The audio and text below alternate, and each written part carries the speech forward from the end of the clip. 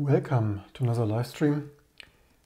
Today Firefox started to release Firefox 95 and while they have not seeded that in their own update and are still preparing their release notes, we already updated that today in T2 Linux, our Linux distribution, live on the More Live channel earlier this morning. And uh, one major feature that is new and novel technique uh, I wanted to quickly point out is WebAssembly and back again fine-grained sandboxing in Firefox 95.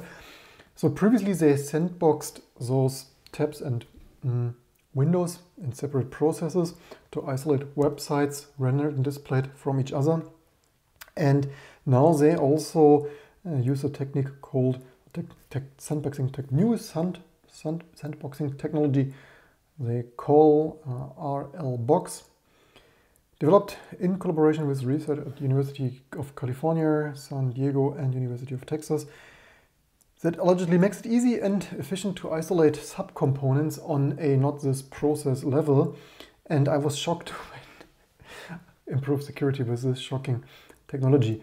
I was shocked when I read earlier what they're doing there. Um, I'm not yet really sure how I would value that, but um, they say it opens up new opportunities beyond what they currently do with traditional process-based sandboxing.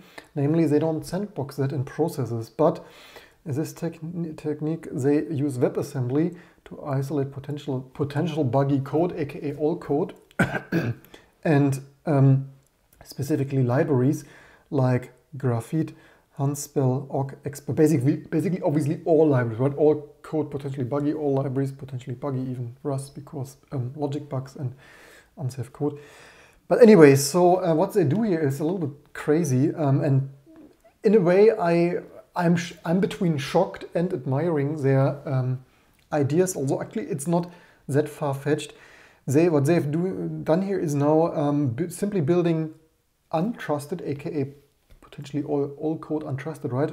but starting with this five uh, libraries, um, not compiling it natively, but to WebAssembly, right? Which of course is not really that novel and that, mm, yeah, because obviously people build probably LLVM into the browser, or even I've seen uh, Wildquark or so of FPGA open source fame even building um, or so uh, with WebAssembly for the web and, and distribution. So the idea of compiling C and C++ code, of course, not um, novel. However, uh, what they do here now is um, twofold. First of all, using this as soft light, soft sandboxing, and whether that is totally secure, we will see in the next years to come, right, live here on this channel.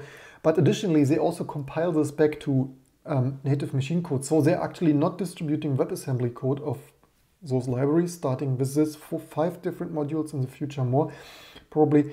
Um, and they use here, they somewhere wrote, maybe we will see this in a second, they use, they could use uh, CraneLift, or in this prototype they use CraneLift, which they write here also somewhere is amazing, but um, they didn't want to have this added complexity, so they are using WebAssembly to C, WASM to C, to simply compile this generate. Also, yeah, the crazy, crazy infrastructure, right? Complexity. First we had software bugs um, in complexity. Now we have more complexity. Previously, you needed one compiler to build a project like Firefox. Now you need your system compiler and definitely Clang, um, also Rust and uh, WebAssembly and back to C again.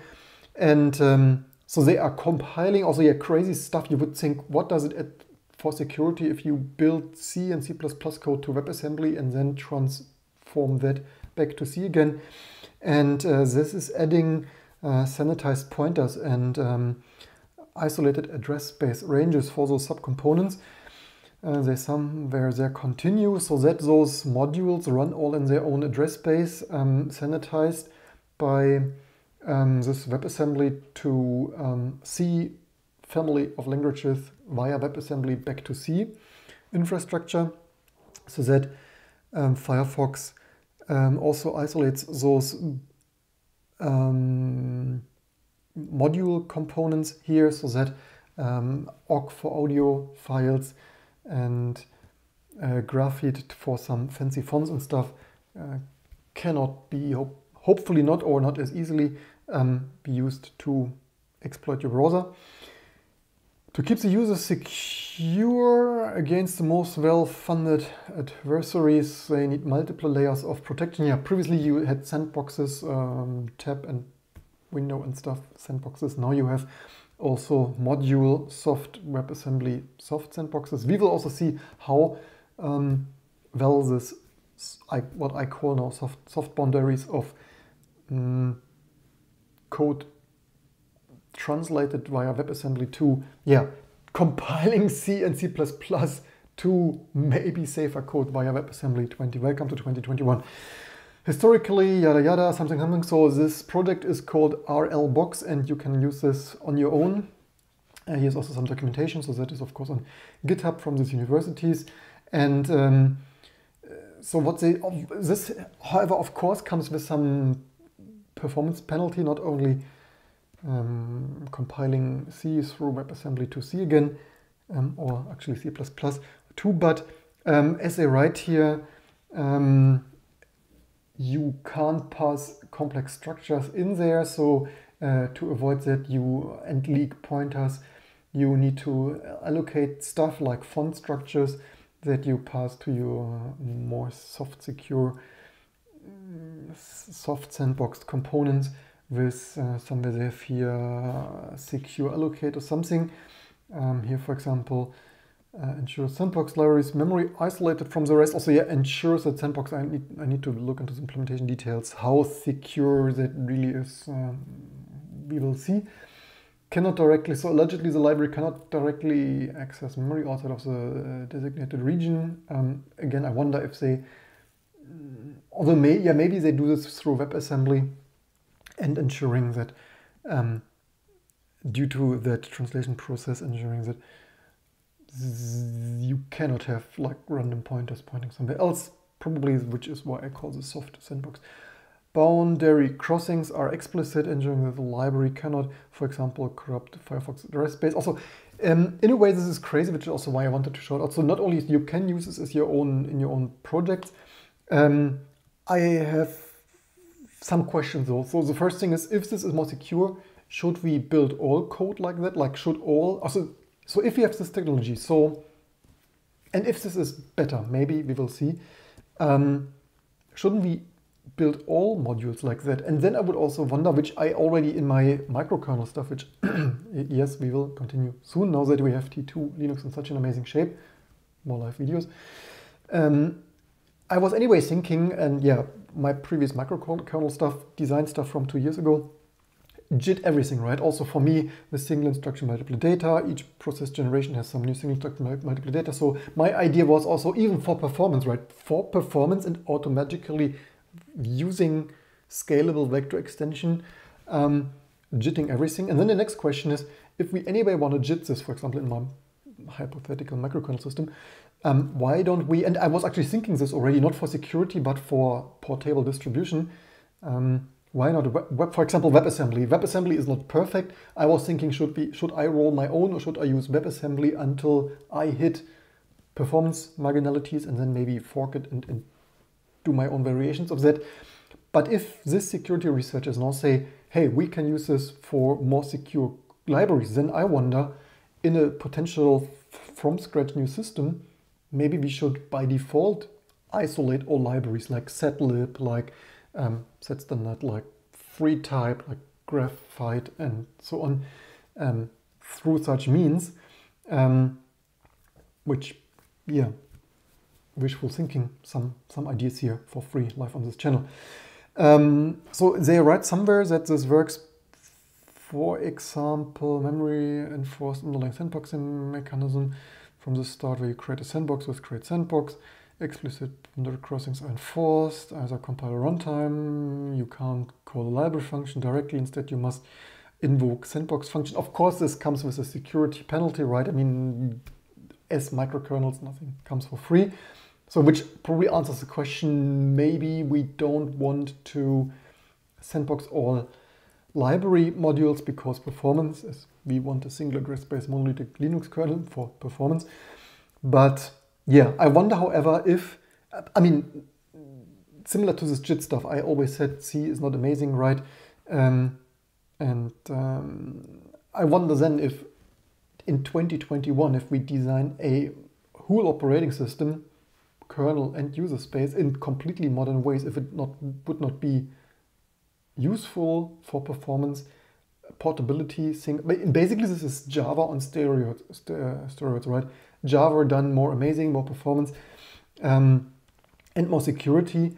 Um, also, of course, right now all those components are all scattered over various projects. It's not like you have LLVM or Rust and have these components do that automatically. So currently you need to take LLVM, um, set up here with, for example, this RL box um, as in Firefox. So it's not like easy integration as in one compile, one makefile or other Meson build system switch and it does that automatically for you. But yeah, um, they also write here, just as I outlined previously, um, when calling a library function, RL box copies simple values into the sandbox. Also, yeah, copy, so yeah, does not come for free, right? So one additional copy there, plus whatever sandbox setup overhead. Coding the function for larger types, such as structured arrays, this simple path pointer to the object that would leak a uh, ASLR address space space randomization. Um, and more importantly, would not work. Sandbox code cannot access application memory. So you must explicitly, as I mentioned some five minutes ago, allocate memory in a sandbox via malloc in sandbox and copy application data to the region of memory, for example, with string and copy, uh, in case it is a string, obviously, otherwise um, mem copy or stuff. So um, yeah, or I wonder if it works for performance reason, because obviously everyone wants performance. If you can directly work with it, right? malloc in sandbox and log, like not string or mem copy, but malloc in sandbox and use this natively to actually fill in your values as aka working copy. No idea. Anyway, um, so that is uh, this project on GitHub that you probably want to use if you want to use it. What else did I wanted to show out here? Um, so it's basically just another um, in-depth blog post here from Firefox and yeah, C, C++, uh, notorious difficult to use safely, as recurrently mentioned here on the live on this channel. And, and as I mentioned already, should not be used for 30 years, but yeah, what do I know? And so here we are 2021, we are compiling, as mentioned here, a new approach, compiling this um, to via WebAssembly, and I think here it was mentioned um, building a WASM sandbox. And um, here you find more details if you're interested in, the, in these details. Um, Clang LLVM got you covered there ahead of time compilation with Crane. Yeah, they previously used CraneLift, but bytecode is Alliance, Lucet compiler and runtime. But uh, now they mentioned here somewhere that WASM2C, so WASM2, no, no, whatever, some it was. So yeah, leave in the comments below what you think. Uh, that is the latest and greatest at security. Um, this technology is too new for me um, to review like in one afternoon. I also, yeah, don't really have the time. I wonder how secure that really is. Leave me in the comments below um, if you're a security researcher or otherwise have some um, input. But of course, the usual um, applies performance, performance, and performance. Of course, there is some loss. Questions how much overhead do you think if that kind of sandbox would have? Would the code size increase? Well, the uh, code size, of course, increases a little bit. At least I'm I'm um, I'm not sure how op optimized the WebAssembly translation is. Maybe that also is like if if you compare this to GCC, I would naturally assume compared to GCC or Clang, uh, CPU native, O3, optimize the heck out of it, this translation process with more pointer checks and runtime checks and stuff, probably at least some 10-20% slower potentially maybe, um, plus this additional sandboxing, sandboxing overhead. So um, if you copy all this data, it depends how much data you copy in and out. And if like if the algorithm is small and only works a little with this data like zlib, then the additional copy could be significant, um, like another 10, 10, 20, 30, 40, 50%. Most stuff is, most algorithms like font libraries, of course, a little bit more heavyweight.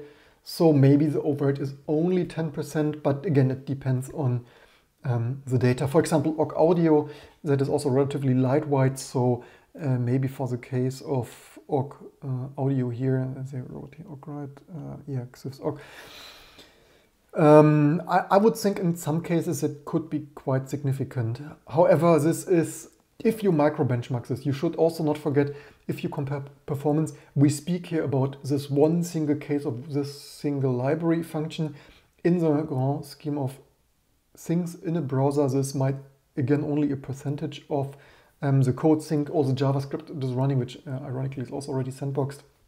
So we basically have we have a process sandbox, a JavaScript sandbox, a and now per library soft sandboxes. Um, yeah, I also wonder. I mean, theoretically, I wonder a little bit though. Um, as they would have native WASM support, I wonder why, if the browser has already native WebAssembly support, uh, why you would not ship these libraries as WebAssembly. Although maybe also for legacy compatibility, so that they, they wrote somewhere not to change the build system uh, so much. Um, so uh, they somewhere wrote, um, yeah, here, like, uh, here's also probably this CraneLift and WASM2C, yeah, WASM2C. Um, and maybe because I would think also for my point of jitting stuff to more optimized single instruction, uh, like uh, single, instru uh, single, instruction, single instruction multiple data, think AVX 512, which Linus Torvalds and I don't really want, but it is there. Um, potentially optimizing to that eventually. But they write here also for simplicity, right? And, and integrating in the, in the build system. So um, basically they set up their Mach build system so that they compile those modules instead of natively um, to WebAssembly and um, compile that back to equivalent C code.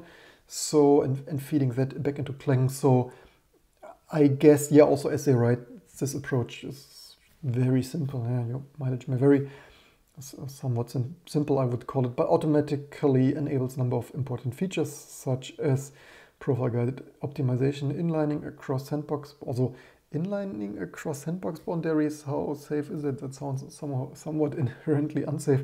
Crash reporting, debugger support, source code indexing, and likely other things they have not uh, that we yet to appreciate. So yeah, mm, I, I would, however, think it could be simpler or beneficial. I mean, basically, if they would not have this WASM2C, it would be a little bit of my potential future dream system of shipping portable Java-like bytecode for um, on-system just-in-time compilation and, and um, because then you naturally have that in the WebAssembly sandbox. But anyway, it will be interesting to see. For me, this has already the consequence. Do I have this still around? Probably I have. We had, um, did I commit this already? Oh, this also built, um, um, except that uh, the secure shell pipe broke. Um, let me just log into this Yes, I know this was uh, black because I don't want. I not. Um, I, sh I should at utmost protect my globally rooted IPv6 addresses. So. Um, did I commit this? Maybe. Ah, I committed this. So um, what I need to investigate is I needed a new build system. So this errored out for me because uh, each thing new um, I slightly wonder, this is probably disabling this feature, I guess. So if we build this at T2 with that feature, I guess we don't even get that because that errored out to it wants a sandbox for this. So yeah, some more research even to building this is required as all the news distributions usually don't ship the Firefox upstream build things. So actually I need to investigate what the heck is going on with this uh, this route for this stuff. So yeah. Um, hmm. Anyway, that's it for the video. Um, our security news card podcast, which we will resume shortly. We will see in the future how secure this really is. Looking forward already to security researchers biting their teeth out of this. And um, yeah, as usual, I'm looking forward to your comment. What do you think about this? Are you into compiler technology mm, and security? What are your thoughts to this? Um, how safe can this really be? Performance, security, and um, yeah, 2021 IT industry um, and security researchers, developers still working on the latest and greatest sandboxing technology. That's all I have for you today. I hope you learned something and don't forget to share and subscribe for all the next videos and live streams to come.